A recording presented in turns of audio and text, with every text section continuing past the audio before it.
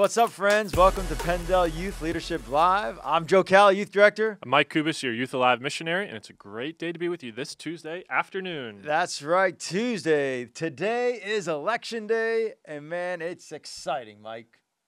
Yes, it's, Is it exci- ex- it's it's exciting. exciting. It's exciting. on. Uh, yes, it is Let's exciting. go. Let's go. I know. I'm sure all of you are done with all the political ads and uh, things like that. But I'm, I, I'm done with all the text. That's what I'm done with. so you've been getting all the spam texts. Yeah, you know, I shared earlier. I got a text from Lyft say, "Hey, 50% off your drive to your polling place." I'm like, I can literally walk to my polling place. Thank you, though. nice, nice. Hey, uh, if you're watching with us, uh, comment your name in the comments and also things like that. Like and share, and we're just excited to have you guys be a part of our broadcast today. And um, so I love what God's doing across our network, Mike. Um, this past weekend, um, PennDel held a young adult retreat. yeah. And um, so I'm sure some of you guys might have had your churches represent, um, but we had uh, a little over, I'd probably I'd say a little less than 300 uh, young adults That's awesome. at the BCC for the one of our PennDel Young Adult Retreats, led by kudos to Adam Olson and Luke Adams Let's for your spearheading that um, that adventure and, and just what God did, man. The weekend was powerful. yeah. Um, so uh, so kudos to you guys for leading that, and what a, what a great time, man! I'm telling you right now, Tuesday's great, elections are great, but it's just great to be in ministry. Amen. I love what God is doing, and uh, and to be in a room like it's different. Friends, like we deal with teenagers all the time, and some of you guys Yeah. do the um, the co-leading of young adults and youth pastoring, um, but it's different when you're in the room with a, almost 300 young adults. Um, and I- and I said this to them because I was I had the opportunity to speak on Sunday, but I had said to them, I said, man, what's really exciting is that when you speak to young adults, like they're there because they want to be there. That's true. Like yeah. students kind of sometimes are forced by mom and dad or even Mhm. from you guys, like, hey, sit in the chair, you know, stand and worship. But like young adults, like they don't have to be there. Right. And they all they came out for that for that weekend. So it was it was a lot of fun. That's awesome. Yeah, and just seeing some of the. Unfortunately, I wasn't able to be there that weekend, this weekend, but uh, seeing all the different posts and hearing even testimonies. I was talking to uh, Rob Fur at the Bongiorno Yeah. Conference Center, Pastor Rob, and um, he said it was an awesome weekend. So kudos good. to you guys, and kudos again to Pastor Luke and Pastor Adam and everyone that made that weekend successful. That's right. And hey, uh, if you um if you are in this group lead a young adults, can you let us know? Just type it in the comments. Hey man, I also lead young adults. Mm-hmm. Um, I just want to know who's doing both. It'd be a great opportunity to keep uh you know keep keep both ministries going forward and Yeah. see seeing what you're doing for young adults and things like that. So that would just be helpful and beneficial for us. Um, because I think the future is bright. I really Amen. do. I really do. So, um, but anyhow, so that was my weekend this past weekend. Nice. And um, so, what'd you do this past weekend? Uh, this weekend, we went to go visit family out in Quakertown, um, both Rachel's family and then my side of the family. Um, originally, we were supposed to go to my nephew's second birthday party because Okay. him and um, Jaron are five months apart. However, he came down with a sickness and it just wasn't proper for us to just be there and Gotcha. everything like that. So we were able to just drop off the gifts and, and say happy birthday quickly that way. But um, it was good just to spend time with uh, Rachel's parents. I know uh, they loved being Gigi and Pop Pop, so Okay. just watching them be grandparents um, was fun. as well. Nice. So Nice, nice. Well, hopefully you guys enjoyed your weekend, and um, it's November, not long from, uh, no, I'm sorry, not far from uh, from Thanksgiving. But before Thanksgiving, we do have a wonderful retreat next Let's week. go. It's our YPR Youth Pastor Retreat. So hopefully, looking forward to seeing. I think we saw a little over 60 registered so far. So uh, it's going to be a phenomenal retreat. Super excited. We have Pastor Aaron McNabb. He's going to bring forth the word. Um, and we're just, I, I'm super pumped to hear and see what God's going to do this weekend Amen. or this week coming up. yeah, it's in nine days. We're excited. Nine for that. days. So again, Thursday, November 14th through the 16th. Registration is still open until Monday. So if you're like, if, if you've been like, I don't know if I should go or not, you still have some time Mm-hmm. for some last minute registration. So it's open until Monday. We really encourage you to be there. It's a great time just to to be refreshed, restored, and renewed going into 2025. Yes, and then um, also some other updates that we have. Um, fine arts registrations, they'll be up soon. I just want to give you a reminder that with fine arts season, uh, some of you guys have already started prepping, planning your your teams and things like that. Um, we are doing the same digital online registration like we did last year. So if you're on our website, you're trying to look for all those things, they're not up and running yet. Um, we're still waiting for the national office to, to link our, our festival. But just anyway, just let you guys know there is some information on our website. Uh, but when we do go live with it, we will let you know and post it in this group. Um, and uh, I think uh, we'll have to register sometime in, in February. So, but just Awesome. wanted to make you aware that it is still the online digital registration we did last year. Perfect. And then we also have our AIM trip coming up in July of 2025, the 19th through the 26th. Uh, the application is on our website, penndelyouth.com. Uh, the application deadline is December 12th, and I know applications are starting to come through. I think I saw one recently on Hannah's desk. So uh, just make sure, guys, that if uh, you or your students are signing up for it, please make sure to get them in before December 12th. That's right. And then uh, winter retreats in January. Uh, we have back-to-back weekends, uh, three great weekends. We have Elliot from SoCal, um, Steve Savoda from the Called Ministry Network. I'm sorry, the Called Ministry team um, from the national office, and also Lee Rogers will be coming in for week three. Uh, so I'm just super excited for what God's going to do in those three weeks as well. Cost is 172 for group registration, so um, we do have some groups registering already.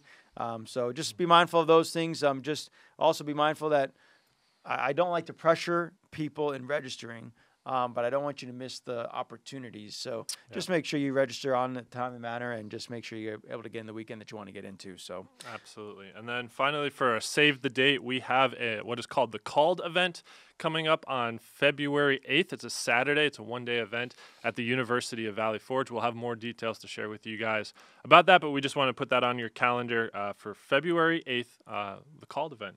Yes, and this called event is for anybody that feels called to ministry. Um, so there'll be- there'll be some teenagers there, some young adults, some old adults, and just really trying to encompass like what it is to be called into ministry and to to nurture and foster that call. So uh, more information will come out, but that is going to be located at the University of Valley Forge, and it's just a one day event. So. Awesome. And then last, before we go into our devotional today, uh, PDYN emails that go out um, consistently. We hope that you guys are receiving them, uh, where you get an opportunity to rewatch this video and updates going on at the network. If you're not receiving those and you'd like to be on that list, please put it in the comment section um, to be a part of that email list. So, um, so let's go into today's today's devotional. Not gonna lie, a little nervous about it, uh, but uh, as I was um, praying through and thinking about it, I was thinking, man, Lord, what what should I, what do you want me to share with uh, with everyone today? I was actually reminded of a sermon I did about four years ago at Morningstar during the last elect- election cycle. It was called "The Joy in the Midst of Anything," and um, today I just want to remind us as leaders um, that we are called to lead as citizens of heaven. Um, now, this devotional isn't necessarily going to tell you how you should vote, who you should vote for. You've gotten all of that at this point. Um, what I want to talk about is how do we lead afterwards, right? We should be leading in a biblical sense before the elections, and, and, and again, you've get, received all that information, but how do we lead afterwards when it comes to being citizens of heaven? Because um, let's be honest, there are going to be people including some students probably in your youth ministry that will not be happy with whatever the outcome will be. And then that's on either side of the party. I'm not here to um, pick sides here. But um, I want us to go to 1 Peter chapter 2, uh, starting at verse 13. Uh, and this is what he says For the Lord's sake, submit. For the Lord's sake, submit all submit to all human authority, whether the king king as head of state or the officials as he appointed. For the king has sent them to punish those who do wrong and to honor those who do right. If it, if it is God's will that you it is God's will that your your honorable lives should silence those ignorant people who make foolish accusations against you. For you are free, yet you are God's slave, so don't use your freedom as an excuse to do evil. Respect everyone and love the family of the believers, fear God, and respect the king. Now, for context, that's saying a lot from Peter, mm-hmm. right? Because let's take our Western mind. Like we we still live in a country where we have the opportunity to vote for for those who are in uh, leadership. At this time, it was an emperor. It was like who's ever next, whoever's born into it, and you know they were getting ready with Nero and and everything that was happening in the Roman Empire. And to read this, you're thinking, Peter, have you lost your mind? right? Like, what what what are you what are you talking about here? And what and I think for us, we ha- we live in this tension of we have to respect those that are in authority because ultimately God has a, in His sovereignty put them in the authority, but also as well when we submit to them, we also are also submitting to the King of Kings and the Lord of Lords, who is Jesus Christ, and we have to learn to to uh, lead in this tension. But ultimately, it comes to that we're leading as citizens of heaven first and foremost. Mm-hmm and then citizens as the United States of America. Now, there are things, let's be honest, there are going to be whoever is our next president, there are going to be policies, there are going to be ways that he or she may act that we may not like, we may disagree with, and everything like that. Um, and some, some of those things, it's like we don't really need to take the time to plant those our flag there in that moment. But there are things that if it's against God's ways, mm-hmm. w- we need to submit to what God is saying versus ultimately what rulerships and king may do. And I think of like Daniel, right, and his friends when they went into um, the country of Babylon after they were um, held captive. They were part of that culture, but they also were like, we're not gonna we're not gonna let the culture dictate mm-hmm. our, how we're gonna live. And we see that early on with the foods that were given to them. They're like, well, we know that you sacrifice these things to other gods. We're not we're not going to eat that. And they put a test and like, wow, they're healthier than than everyone else. So that's good. Um, when uh, the king when King Nebuchadnezzar put the golden statue up, right, and everyone bowed down except for Daniel's three friends, and they're like, hey.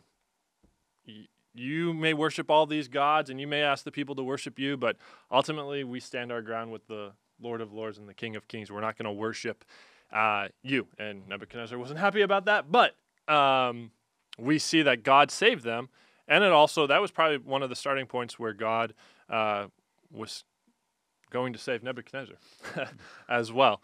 Um, and then finally with Daniel as well, when people, when the king was trying to get rid of prayer time, uh, and they say he couldn't pray, Daniel still continued to pray because he knew that was the thing that he had to do. That was the right thing he had to do. Um, and ultimately, that saved him as well uh, in, in that point. And so, my whole purpose, I guess, what I want to share with us today is ultimately we have to lead and communicate to our students that we're leading uh, after the election as we are citizens of heavens. Um, I don't think your sermons on Wednesday should be a rant about why you're upset about which political leaders or le- you know leaders are are in uh, office but at the end of the day, saying, hey, we may not necessarily like the outcome, but we're going to pray for our leaders. Mm-hmm. We're, we're, we're going to submit to, author- to the authorities of things that, um, again, if they don't dictate according to, if they're not contradicting how we should live according to God's word, we'll follow the best that we can in those things. But ultimately, again, we should lead, lead as citizens of heaven, first and foremost, then lead as citizens of America. And Joe, I'm going to come to you because I feel like I'm like all over the place right now.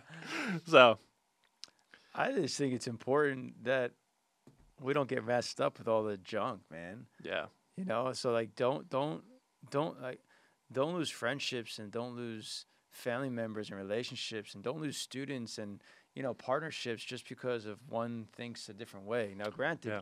you know we have to um, obviously in order to go forward in what God's called us you can't. Um, everyone's not going to go with you.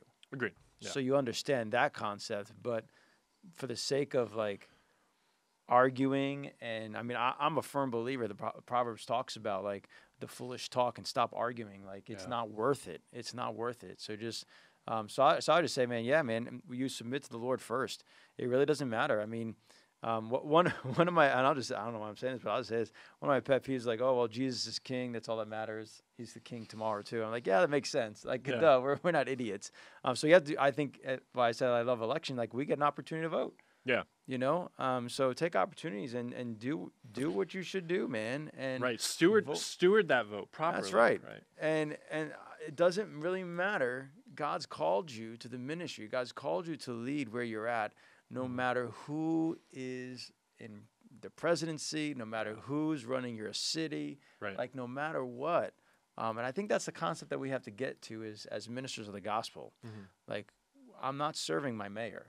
Yeah. I'm not. I'm not serving. I'm not serving it. I'm serving the Lord. Yeah. And uh, that's the first and foremost. So um, when it contradicts your biblical morals and biblical what the Word says, then I can't. I can't subscribe to that. Right. So agreed. and and we, and we shouldn't. You know. So.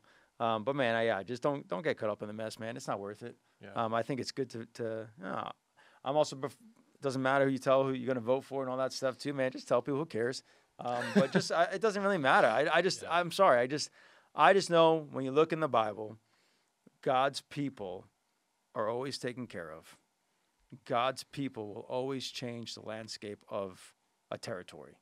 Always. The, the the the government, no matter who's in charge, God's people somehow, some way, by divine, you know, uh, um, intervention, God's people will always flourish, be blessed, and or be given opportunities to see miraculous happen. Right. And I just think about that. Like, okay, let's go back to with Peter and him in the Roman Empire. Yeah. They were, they the early disciples were planting seeds in the Roman Empire. Mhm. Like to the point, like people use this against them, saying like, oh, they're trying to overthrow the government. That's not necessarily what, not at all what they were trying to. do. They were living for the King of Kings, of who is Jesus.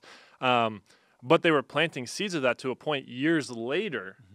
Roman, you know, Roman Empire and things like that were like, we need to subscribe to these Christian values and seeing what they're doing, right? And like we Mhm. even we even see that in countries like I was listening to uh, a sermon, and it doesn't get this doesn't get talked a lot because it's in China, and you know China tries to stop uh, Christianity from spreading. But there was a there was a a group of people who were really addicted to drugs and everything like that, and the government knew of some people in another area that were Christians and they were living peacefully and things like that. And they brought them into this Mm. town and saw within like a 20 year period how this town did a 180 Yeah. because of the gospel message and how these people lived for Jesus. Mhm. And so, um, again, while we may disagree with some things on certain aspects and politically, but if we live according to how Jesus calls us to live, who knows? You can, you can maybe change your, see your mayor's heart be transformed. You can see communities like turn for the gospel message. So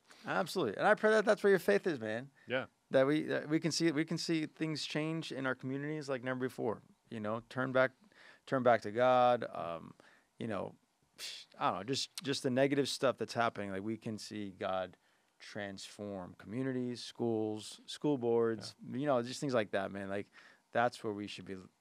That's where our focus should Yeah. be. God, Listen, give us an opportunity to transform the community where you put us. yeah, listen, if if Ephesus was able to be flipped upside down for the gospel message, hundred percent. with the gospel being sent in that one little community um, why not in our communities Yep. right why not why not see things that are of immoral not of god be flipped into prayer houses or, or where people gather for, for bible studies and things like that um, yeah i think it's really That's good. That's good. Be a man or a woman of God. That's all that matters. amen So, and lead in that way. Cool. Awesome well that's all i have for today joe you want to close this out? Let's do it. Fair? Father God, I thank you for every person watching and listening, Father God. I thank you for our youth pastors and leaders that are serving hard, uh, wholeheartedly, Father God. Um, Lord, in moments, Lord God, just sometimes in seasons of life, Lord God, where where they're juggling a lot, seems like a lot's going on in the world, in the church, in their own family life, Lord God. Um, Lord, I pray that they'll not question the call. I pray that they'll continue to stay strengthened by your word. Um, and Lord, I pray that they'll see a great increase, Lord God, by the end of this year for them and their families. Um, Lord, I pray for a great ministry, missional outcomes Hmm. um, as well, Lord God, and let the ending of 2024 just be the icing on the cake for their year, Father. We love you, Lord. We thank you for what you're doing. We thank you for our country, Lord God, the great, the great country of the United States of America, that we are allowed to do this right here um, and also preach the word of God. So I thank you, Father God. Um, pray, Father God, that we'll have a great election and. Um, and whoever I vote for wins. Ha! Just kidding. In Jesus' name, amen. Amen. Love you guys. See you guys next week. see you guys